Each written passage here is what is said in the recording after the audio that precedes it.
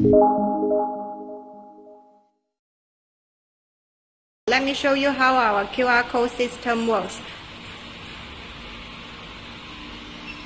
Someone scan an unknown QR code but he cannot get in until he get the permission in our system. For example, we set it one-time ticket. You can set the valid times or valid period based on your requirement.